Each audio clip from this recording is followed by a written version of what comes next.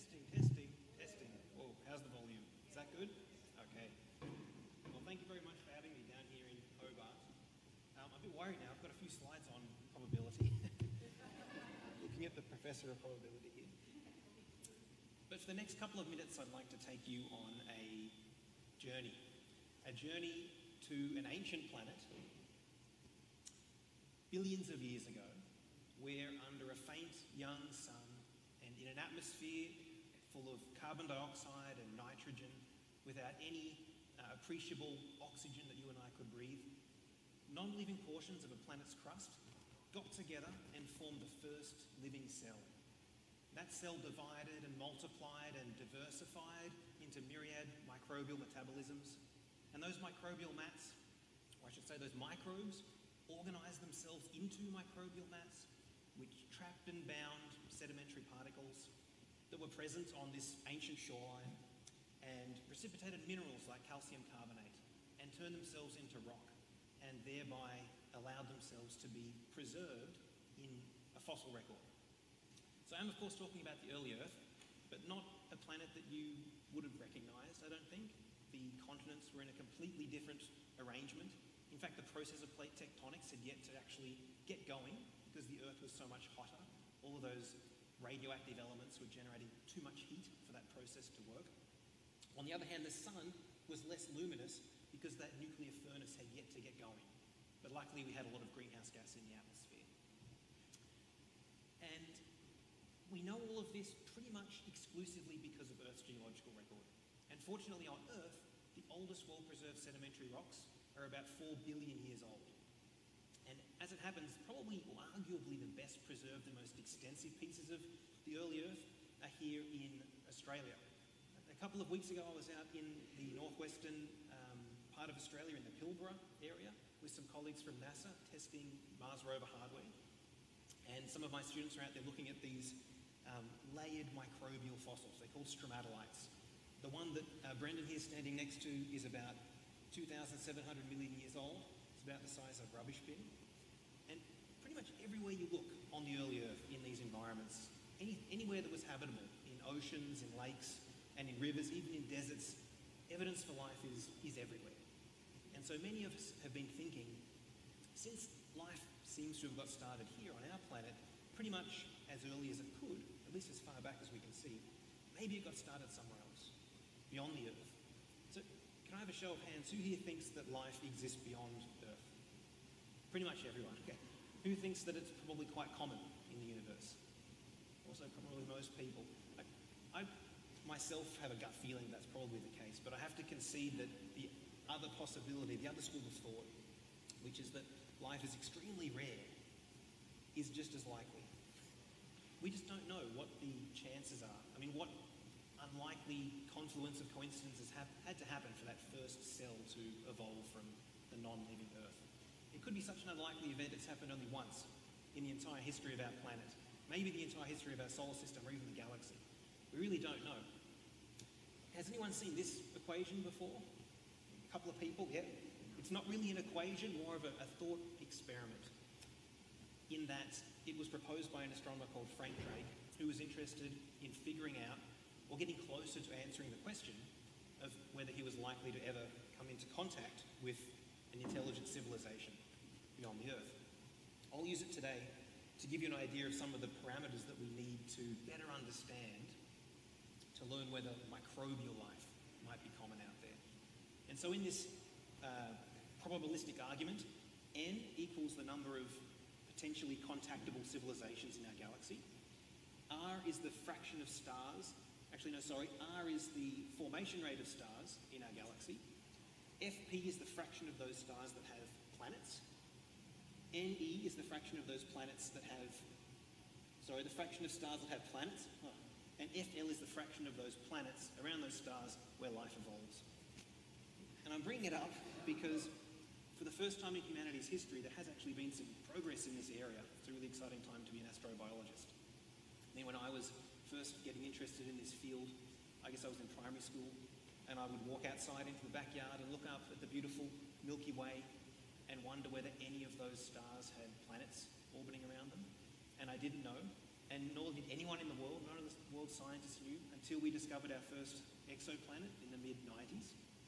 We now know of tens of thousands of exoplanets, and many which seem like they might be habitable, or at least they're orbiting at the right distance from their star to have liquid water. There's a heap of real estate out there. So we know the formation rate of stars really well. We know the fraction of stars with planets. Look up at the sky outside, pretty much all those stars have planets. We even know some of them that are habitable. And so we need to look at this next variable and try to understand whether life is likely to evolve from non-life. We have a sample size of one, we're in this room talking about it, but that's not statistically significant. We need to find a second genesis of life.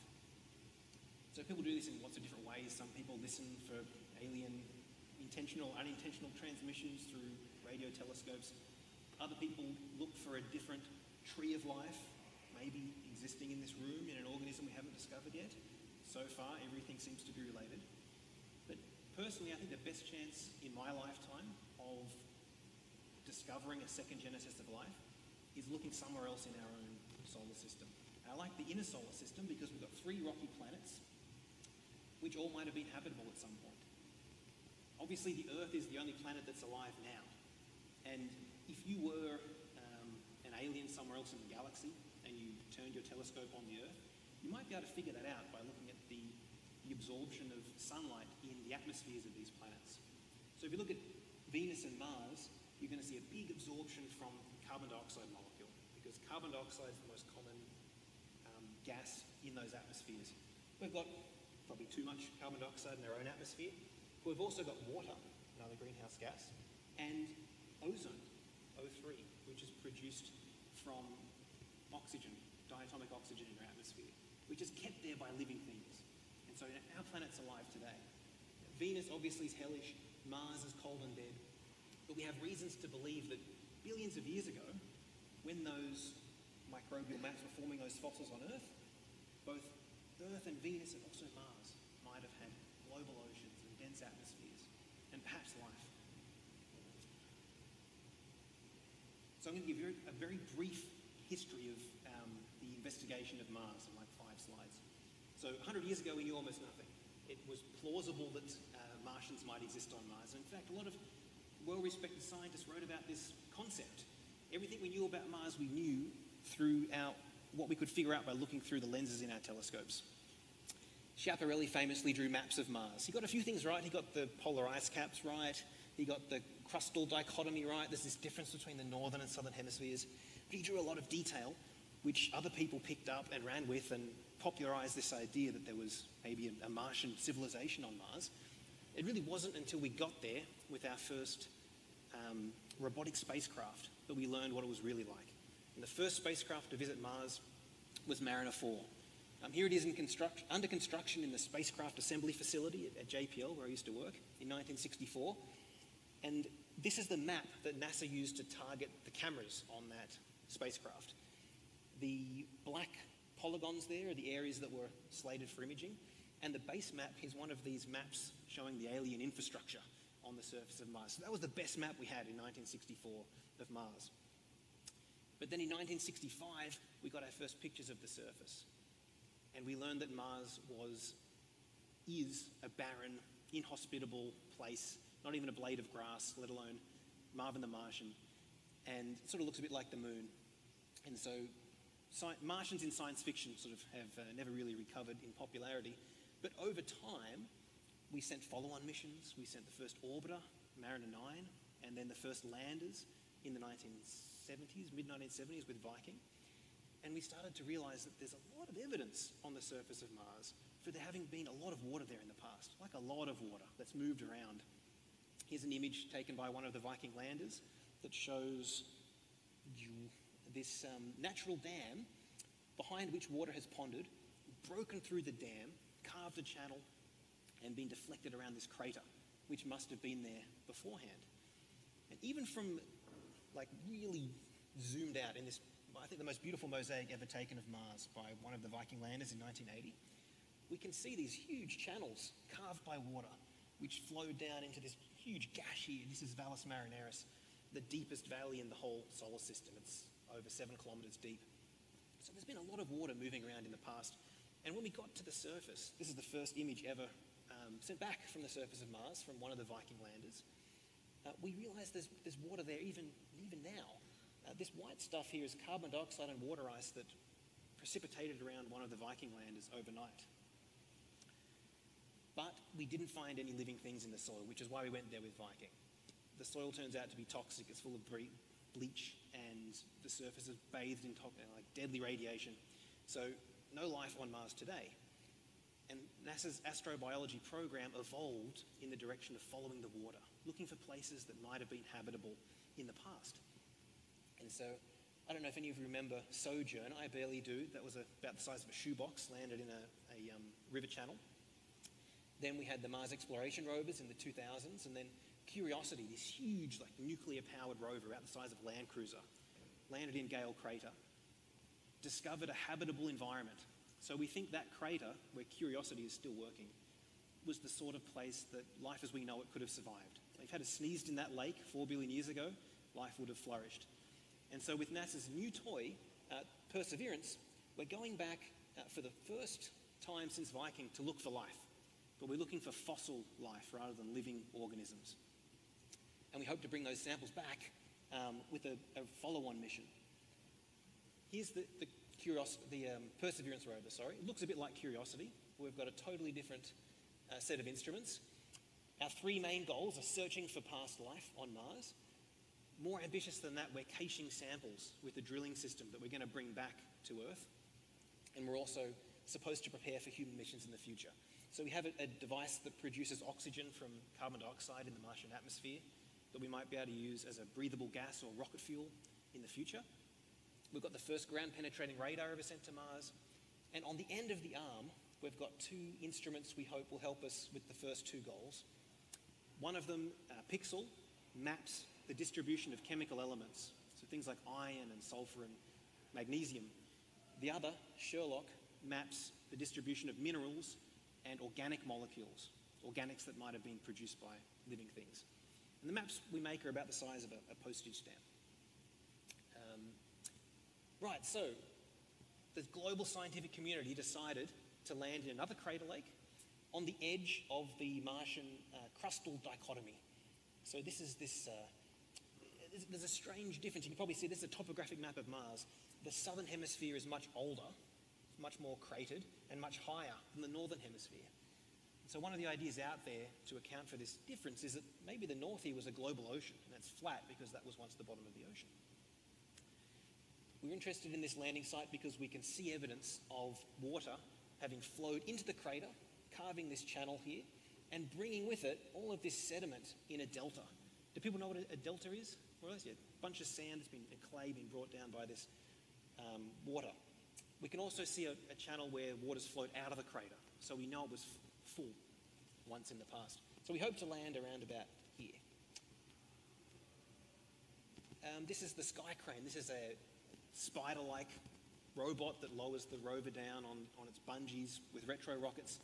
This is a picture I took when it was coming together behind my office in 2016. We were using flight spares from Curiosity at the time. I helped to de- develop this instrument, PIXL, the one on the, um, the end of the rover's arm. It's about two meters long, that arm, and we dangle that instrument about one centimeter over the rocks. That was the day we delivered the, the instrument in 2020. And this is what we hope it might look like if we found, say, a microbial fossil on Mars. This is a piece of Australia, actually. This is um, uh, stromatolite. It's about three and a half billion years old. And this is the map that PIXL and SHERLOC make. I use this to calibrate the instruments. And so we get this distribution of chemical elements, minerals, and most importantly, the organic carbon that's present in these, this layered fabric because it was once a microbial mat. So we attached our instruments. We were given some plutonium by the DOE. Here's the chunk of plutonium going into the rover. It's about the size of your fist, provides enough power and heat for us. We put it all together in a stack and tested it in one of the biggest vacuum chambers in the world. This is at um, JPL. And then in the middle of this pandemic, and with a US election looming, and there was a hurricane bearing down on this launch site, and we had a, an earthquake in the morning as well. Um, luckily, got, oh, luckily we got safely into space. And six months later, we were treated to this amazing footage. For the first time, we got to see uh, the landing of one of these systems. Uh, it didn't work. Let me try to go back and make that work. Because that's a cool sequence. Going to work. No, that's a pity because you get to see the supersonic parachute deploy and the sky crane lowers the rover down. You might have seen this footage somewhere else and then flies off and crashes in a random location. It's really cool. You have to trust me. Um, so anyway, we did. We landed safely. We commissioned our instruments over about a six-month period.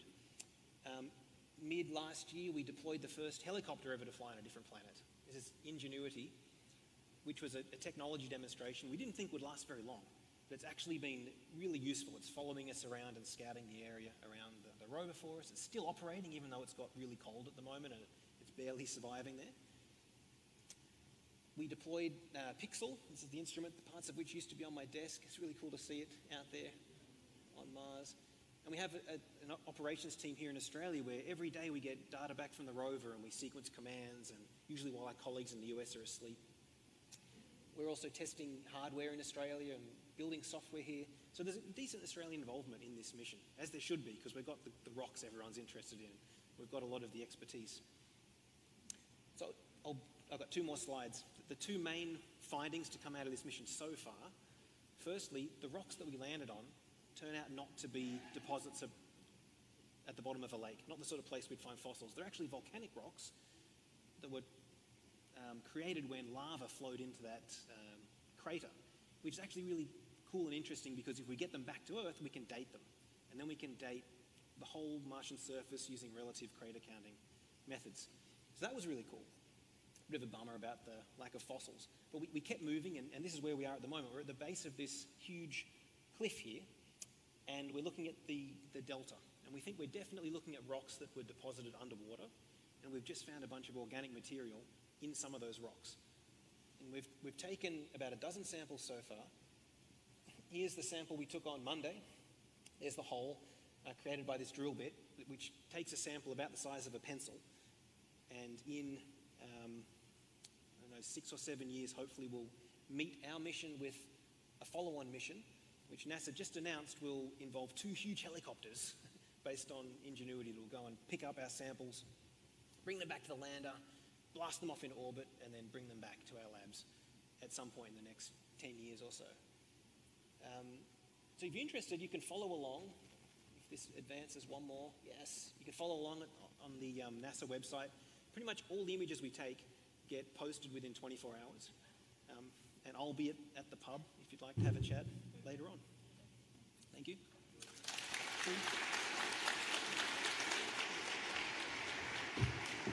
Yeah, let's have some questions. David Flannery.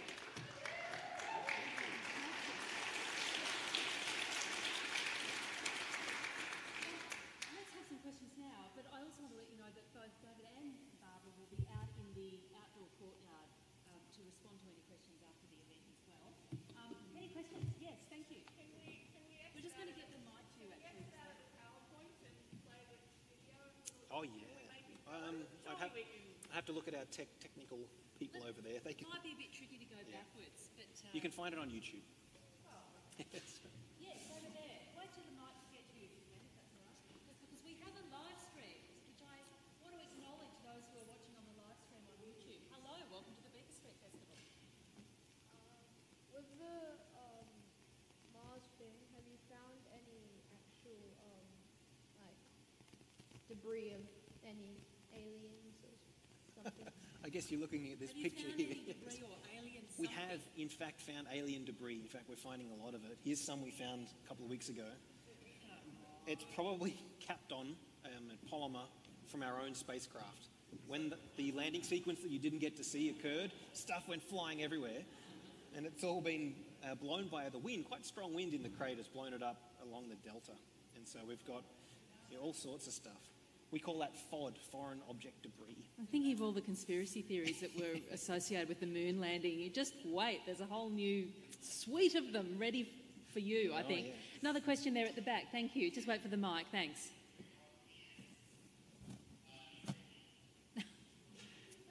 Where are we? Just pop your hand up. There you are. Yeah. I'm here.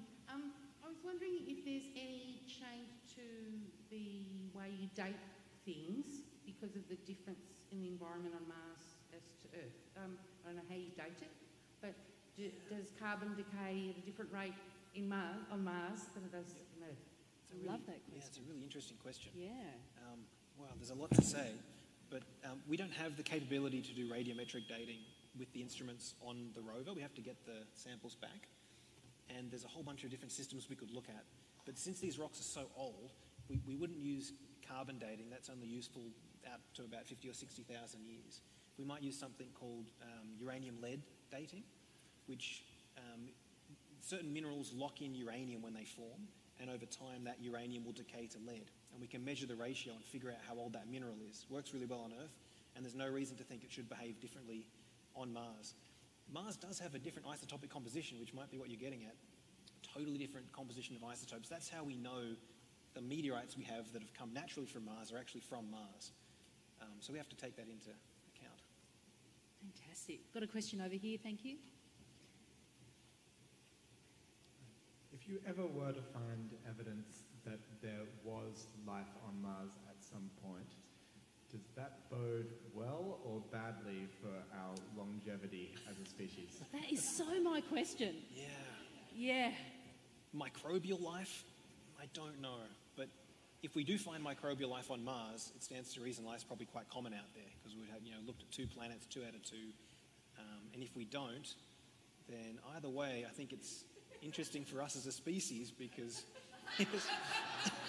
Here we go. I want to hear from the uh, probability professor. I've got to ask the probability question. So Yes. you found life on Mars. Yeah. How sure are you that it's an independent origin, or could it be Ah. like one of these meteorites crashed from we're all Martians from four billion years ago? That and would- it's how it all started. Yeah, that. Would, that would totally be my next question. And so we'd have to figure that out. That could be really hard if the evidence is decayed and quite difficult to, to interpret. But one of the things we could do is to look at the handedness of molecules.